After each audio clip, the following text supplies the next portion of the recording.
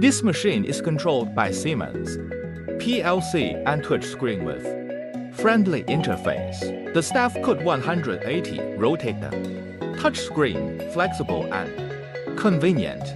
The controller languages can be Chinese, English, French, Arabic, Spanish, Russian, etc. Horizontal cutter could continually cut. No stop. Thus the capacity can be increased from 300 kilograms per hour to 500 kilograms per HR. It is easy to operate, friendly to use. Welcome to visit Haitel